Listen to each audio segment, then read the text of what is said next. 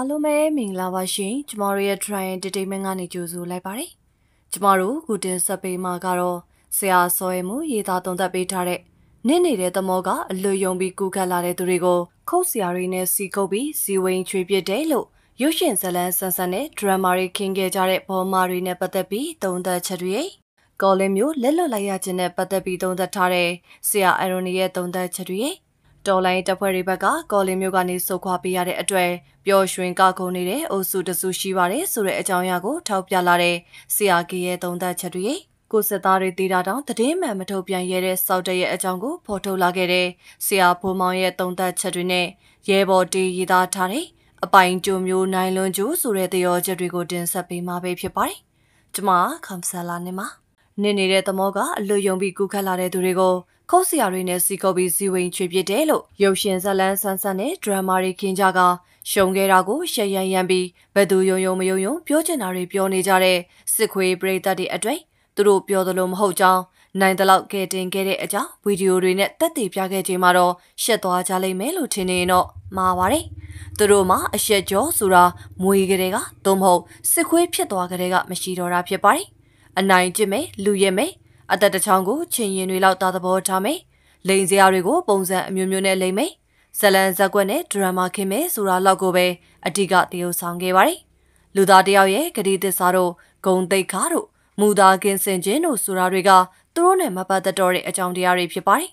အေးဘက်ကအခုလိုထုတ်ပြန်လိုက်တာကြောင့်အေးအေးဟာစကားတွေသားပြောတဲ့သူမဟုတ်ပဲလက်တွေ့ဆန်တဲ့အဖွဲ့အစည်းဖြစ်ကြောင်းတည်ပြခဲ့တယ်လို့ဆိုနိုင်တာဖြစ်ပါတယ် ဆိုတော့လက်ရှိမြန်မာစစ်ကွေးတပ်ဟာဘာတွေလုပ်ပြီးဘာတွေလိန်ညာတက်ကြောင်းဘယ်သူမှမမေ့ရပဲသူတို့ကိုယ်တိုင်တက်သေးတွေတစ်ခုပြီးတစ်ခုချပြနေတာဖြစ်ပါတယ်။ဒီလိုစစ်ကွေးတပ်တဲ့ကိုဝင်ကြရပြီးစစ်ကွေးတွေကသာတန်တန်ပေးခံရရင်အမေမွေးပေးတဲ့လူသားစစ်စစ်ကနေတဘဝထဲမှာတင်မဲ့ဘဝနှစ်ခုနဲ့ပုံစံနှမျိုးဖြစ်သွားနိုင်ပါတယ်။အာတေဝလာစာပါလာနဲ့ဆိုတဲ့တရားစာလိုပါပဲ။လူမိုက်တွေနဲ့ပေါင်းတင်ရမှာတော့စီချိန်သူလက်မချောက်နိုင်တော့ပါဘူး။ ဒါကြောင့်မျိုးပြတွေကခွေးဆက်သွင်းခံရမဲ့လူငယ်တွေအတွက်ဘာသာကြီးမျိုးစုံကဘုရားသခင်များစွာကဒီတခါတော့လွတ်လန်းရှာပေးတင်ပါတယ်။တိုင်းရင်းသားတွေရှိရာနေရာတွေမှာကတော့မိမိတို့တိုင်းရင်းသားလက်နက်ကိုင်များစီမှာခွေးဘဝမရအောင်ကြိုတင်ပြီးနေရာယူနိုင်ကြဖို့လိုပါတယ်။တိုတက်လာတဲ့ KAC ကျောင်းရဲ့တည်င်းပြန်လွှတ်မှုတွေသာမရှိ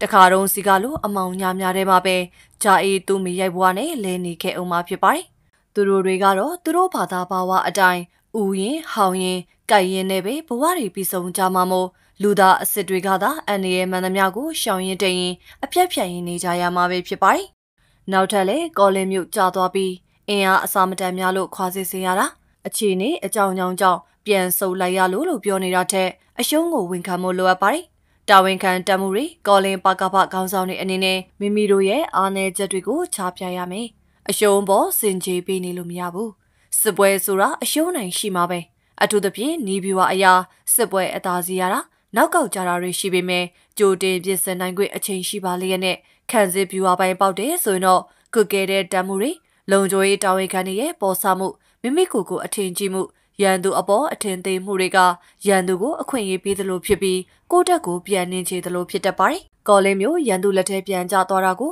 ပြန်တိုက်လို့ရတယ် စစ်ပွဲမှာအရှုံးနိုင်သဘောရှိတယ်ဆိုပေမဲ့အခွင့်အရေးရချိန်မှာအတိအခွင့်အရေးကိုလက်စုပ်လက်ကင်ထားနိုင်ရပါမယ်။အဒီလိုမှမဟုတ်ရင်နောင်တရတဲ့အချိန်ဆိုတာတအားနောက်ကျသွားပြီ။အထူးသဖြင့်ရှမ်းမြောက်နဲ့ရခိုင်ပြည်နယ်မှာခွက်ခွက်လန်ဆစ်ရှုံနေတဲ့စစ်ကောင်စီတပ်က၎င်းရဲ့အောက်ခြေရရှိစစ်တီတွေကို motivation ပေးနိုင်ဖို့အောင်ပွဲတစ်ခုပြဖို့အသေးအံလိုအပ်နေပါတယ်။ AOS တွေတဲ့တော်လိုင်းရေးတပ်ဦး NUG PDF တွေတင်ပိုက်ထားတဲ့ကော်လင်းမျိုးလိုခရိုင်မျိုးကြီးကိုပြန်သိမ်းနိုင်ဖို့ကအာဏာသိမ်းကောင်းဆောင်ဖို့အရေးကြီးပါတယ်။ တိုင်းသားနယ်မြေကိုလက်လွတ်ရတာထက် NUG PDF တွေတင်ထားတဲ့ကောလင်ခမ်ဘတ်ရွှေပြည်အေးမော်လူမျိုးကိုပြန်ရယူဖို့စစ်ကောင်းဆောင်အဖို့ထိတ်တန့်ဦးစားပေးအဆင့်ဖြစ်နေပါတယ်။တကယ်တမ်းစစ်ကောင်စီရဲ့ de facto ကိုရိုက်ခွဲရမှာက NUG PDF KIO KIA ဖြစ်နေပါတယ်။စစ်ကောင်စီကိုဘက်ကပ်ပေးနေတဲ့တရုတ်နဲ့အာဆီယံနိုင်ငံတချို့ရဲ့ထောက်ပံ့မှုရဖို့ဒီဒီနှစ်ဖွဲ့လက်ထဲမျိုးတွေထပ်မပါဖို့လိုအပ်ပါတယ်။ ကော်လင်ကစီအရာရေးပါလွန်တဲ့မျိုးမဟုတ်ပေမဲ့ NUG က2023နိုဝင်ဘာ6ရက်မှာစစ်အုပ်ချုပ်ရေးကိုပထမဆုံးဖြိုဖျက်ပြီးတော့ပြည်သူအုပ်ချုပ်ရေးခရိုင်အုပ်ချုပ်ရေးတည်ဆောက်ခဲ့တဲ့မျိုးဖြစ်လို့စစ်ကောင်စီအနေနဲ့တကယ့်အချင်းချောက်မှုလို့မြင်နေပါတယ်။သူကိုထောက်ခံတဲ့နိုင်ငံအနေငယ်အတွက်မဖြစ်မနေပြန်သိမ်းနိုင်မှုအစောတလင်အင်အားရိစုတိုက်ရထောင်ချီသုံးပြီးလက်နက်ကြီးပစ်ကူလေကြောင်းအင်အားအလုံးရင်းနဲ့ထိုးစစ်ဆင်ပါတယ်။တကယ်ကိုရင်တမမနဲ့စောင့်ကြည့်ရတယ်။ ကမ်ဘလူ PDF တရင်ဘက်ကစီဖြတ်ပေးလို့တက်နေတာဖြစ်ပြီးဝါတဝါရဲ့ဖြူတက်တွေကိုအမဲချွေချွေပေးနေလို့သာခံစားနေတာဖြစ်ပါတယ်။ကျော်လာနဲ့ကမ်ဘလူကြားမှာ PDF တက်တွေကောလင်ကိုမဲနေတဲ့စစ်ကောင်စီတပ်သားဗျူတွေကိုတိုက်ခိုက်နေကြပြီးကမ်ဘလူမျိုးကိုတောင်ဘို့အထိုင်စခန်းကနေခမရ360ကိုခမရ361နဲ့ဗျူတက်သားအင်အားတရာကျော်ကို MI70 ထောက်ဖို့ရရင်နဲ့ကောလင်ဘက်ပို့ဆောင်နေတာကိုဝင်တိုက်ပေးနေရပါတယ်။ဒီကြားတွေကပဲ MI70 တစီကိုပါကင်ထဲလိုက်သေးတယ်။ ကောလင်ကမ်ဘလူကြားချက်တင်တော်ဘက်မှာ PDF တပ်တွေကို MI35 တက်ခိုက်ရရင်နဲ့လာပစ်တာကို PDF တွေကပွိုင်းပိုင်နဲ့ကင်ထဲလိုက်တာကမ်ဘလူ6336တန်ကြကတပ်ဘက်ကိုမီဂိုတလူလူနဲ့ဆင်းသွားရဲလို့ဆိုပါတယ်နောက်ပြီးကော်လင်းမျိုးကိုကချင်လွန်မြောက်ရေးတမတော် KIA ကလည်းကာကွယ်ဆောင်ရှောက်ပေးနေပြီးအမတ်တေစစ်တေသားမှုအဖြစ်ဒူဘိုဂျိုကြီးခေါင်းလုံးကကာတုံးလုံးနေမျိုးကိုခရိုင်ကွက်ကရေးမှုဖြစ်ဆောင်ရွက်နေပါတယ်။ NUGPDN နဲ့ KIA တို့ပူးပေါင်းဖော်ဆောင်နေတဲ့ကတာခရိုင်ကော်လင်ခရိုင်ကမ်မလူခရိုင်တွေကိုစုပေါင်းပြီးကာတုံးလုံးလို့ခေါ်ဆိုပြီးစစ်စင်ရေးတွေပူးပေါင်းဆောင်ရွက်နေပါတယ်။ဒီလိုအရှိန်မြင့်ဖော်ဆောင်နေတဲ့ကြားတဲ့ကော်လင်မြို့ကြာသွားတာအင်မတန်နေနာပါတယ်နောက်ပြီး NUG နဲ့ KIA တို့ဖော်ဆောင်နေတဲ့ကချင်ပြည်နယ်စကိုင်းတိုင်းအထက်ပိုင်းရှမ်းမြောက်နဲ့မန္တလေးတိုင်းကိုဆက်သွယ်ရေးနဲ့ထောက်ပံ့ရေးလမ်းကြောင်း Line of Communication ကိုစစ်ကောင်စီဘက်ကဖျက်တောက်တာအပြင် တော်လိုင်းမဟာမိတ်အချင်းချင်းကြား SSR DDR အရာပုတ်တိုက်မှုဖြစ်ပြီးလို့ရအင်မတန်ခက်ခဲသွားတာကိုတွေ့ရပါတယ်။ NUG PDF နဲ့ KIA တင်ထားတဲ့မြို့တွေစကန်တွေဆိုရင်စစ်ကောင်စီဘက်ကအင်အားပြန်စုပြီးမရရအောင်ပြန်ထိုးစစ်ဆင်နေတာတွေ့ရပါတယ်။ထီကြိုင်မျိုးကိုဆိုရင် KIA ပူပေါင်းတပ်ဖွဲ့တွေထိုးစစ်ဆင်နေတာကြပြီး ရာမလို့နဲ့မြသိန်းနဲ့တောင်ပေါ်ကနေရန်သူဖက်စစ်တပ်ကအခိုင်အမာစကန်ချပြီးတစ်ဖက်ကမြတောင်ကနေလက်နက်ကြီးပစ်ကူလေကြောင်းပစ်ကူတွေနဲ့ KIA နဲ့ PDF တွေရဲ့ထိုးစစ်ကိုဟန်တာပြီးထိန်ချုံနိုင်ခဲ့ပါတယ်။မြို့ကိုသုံးပုံနှစ်ပုံပြချသွားတယ်။ A ရဲ့စစ်ဦးစီးချုပ်ပြောစကားနဲ့အနေထားအရ next level တကူတက်လာပေမယ့် KIA မပါတဲ့အခြား EAWS ခေါင်းဆောင်တွေအနေနဲ့စစ်ဘီရင်ဝါဒနဲ့ပြည်내အဆင့်ကနေလန်တက်ဖို့မမြင်ရသေးပါဘူး။ ဆရာနာရှင်အမြင့်မပြတ်ခင်မှာအနိုင်ရတိုင်းလည်းအောင်ပွဲခံနေလို့မရသလိုရှုံးနေတိုင်းလည်းငိုကြွေးနေလို့လည်းအပေါ်ပဲဖြစ်ပါတယ်။ကော်လင်မျိုးကြတာတဲ့စူစီမှုတော်လိုင်းအုပ်စုအချင်းချင်းပုတ်တိုက်နေတာမငြညွတ်တာအဆိုးဆုံးပဲဖြစ်ပါတယ်။နှစ်ပေါင်း80ကျော်ဒီခုအချိန်ဆရာနာရှင်အမြင့်ပြတ်တိုက်ပွဲမှာအောင်ပွဲရဖို့နီကက်လာချိန်စင်ပြောင်ကြီးအမိတက်နေတာမြင်ရတာကြေကွဲစရာကောင်းပါတယ်။ရန်သူကိုအခွင့်အရေးပေးနေသလိုဖြစ်နေတာအမှန်ပဲဖြစ်ပါတယ်။ ဒါကြောင့်ပြည်သူလူထုတယောက်အနေနဲ့အပြစ်လဲမြင်စီအမျက်လဲကင်းစီတောင်းဆိုနေရတာဖြစ်ပါတယ်။ဆီယနာသိန်းတက်ကပြိုကျလို့တဲတဲလေးသာလိုပါတယ်။အာနာရှင်တစ်ပင်ကြီးပြိုလဲကြဖို့နောက်ဆုံးခုရမယ့်အချက်ကြမှလက်လျှော့လိုက်ကြမယ်ဆိုရင်ဖြင့်စင်မြောင်ကြီးအမိကြမှတက်နေပါလိမ့်မယ်။နောက်တစ်ခုကဒေါ်လာရေးတပ်ဖွဲ့တွေကော်လီမျိုးကဆုတ်ခွာပေးရတဲ့အတွက်ပျော်ရွှင်ကခုန်နေတဲ့အုပ်စုတစုရှိပါတယ်။မာလာတက်အတိုင်းဝိုင်းကမဟုတ်တယ်လို့ထောက်ကန်သူများမှလည်းမဟုတ်ပါဘူး။ တကယ်တော့ကော်လင်ကိုအပိတိုင်စုပ်ခွာပေးခြင်းမဟုတ်ဘဲနေရိုင်းသွင်းတယ်လို့ channel သွင်းပြီးပြန်ဝိုင်းထားကြတာဖြစ်တယ်လို့တော်လိုင်းသမားများဘက်ကသတင်းထုတ်ပြန်ထားတာဖြစ်ပါတယ်။ဒါပင်တော့မှကော်လင်မျိုးကိုစစ်ကောင်စီဘက်ကတင်ယူသွားနိုင်ပြီဆိုပြီး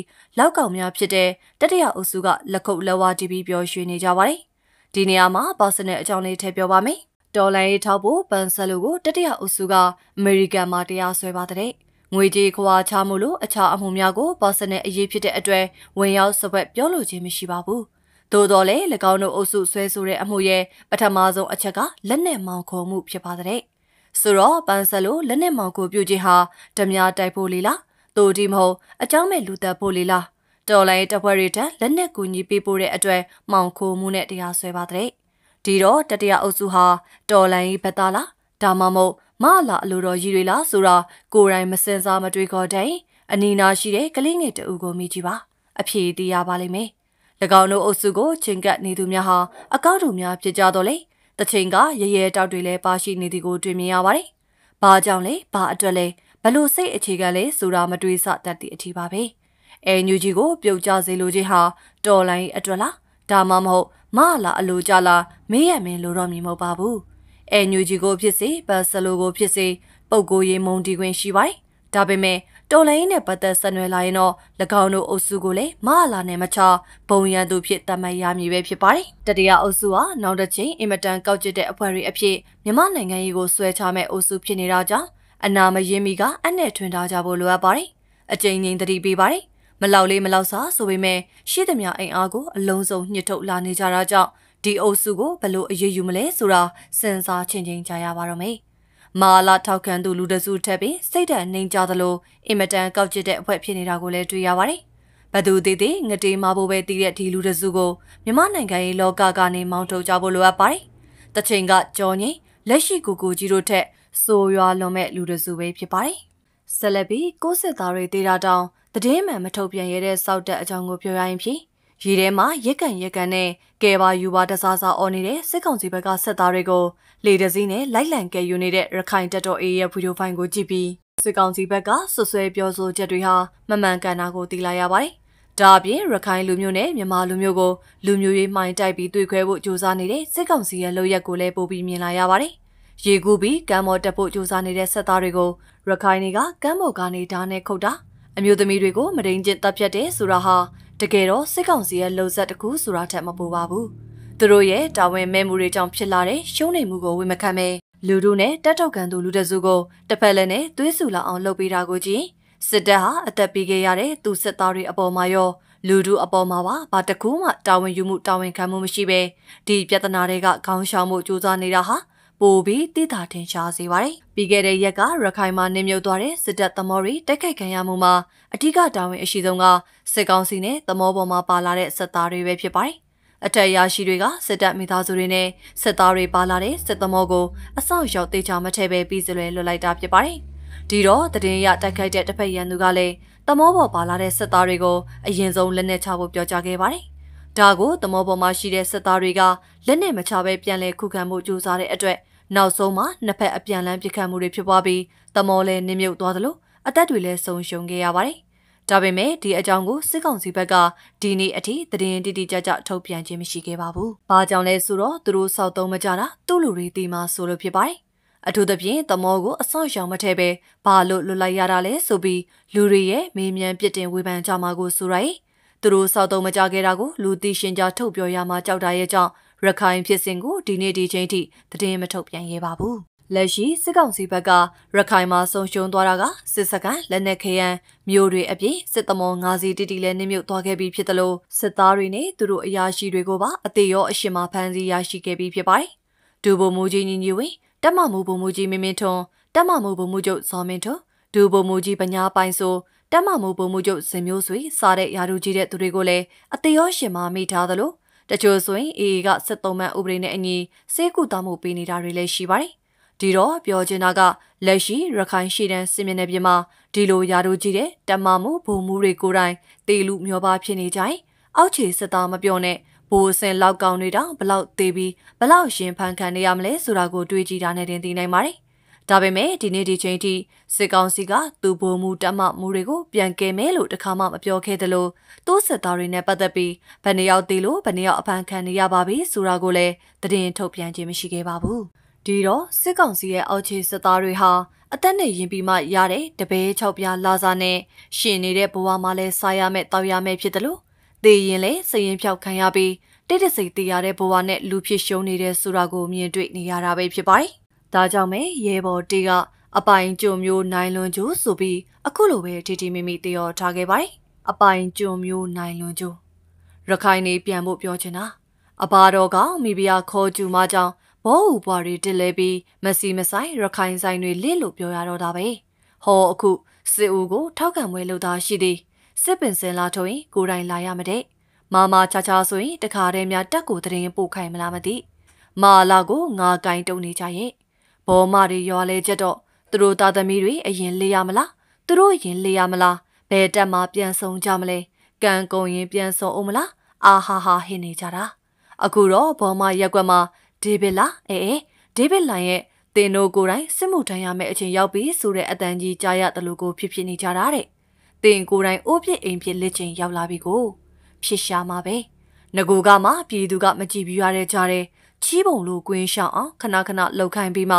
ကိုယ်တိုင်ရောမိမရောတာသမီရောမလွတ်အောင်စစ်မှုထမ်းဥပဒေထုတ်တာစစ်ဗိုလ်ချုပ်ကြီးတွေနဲ့သူတို့သားသမီးတွေကိုကာကွယ်ပေးဖို့တက်တွင်မောင်းတဲ့အကွက်ကြီးလေတက်ဦးဆန်ပိုင်ကျုံမွေးကွက်ကြီးဆိုတာရှင်းနေတာပဲပိုပြီးရှင်းတာကပြပထွက်ဖို့လေစစ်မှုထမ်းအောင်မိသားစုနဲ့စစ်မှုထမ်းဆဲအောက်ခြေမိသားစုဝင်တွေကို passport ထုတ်မပေးဘူး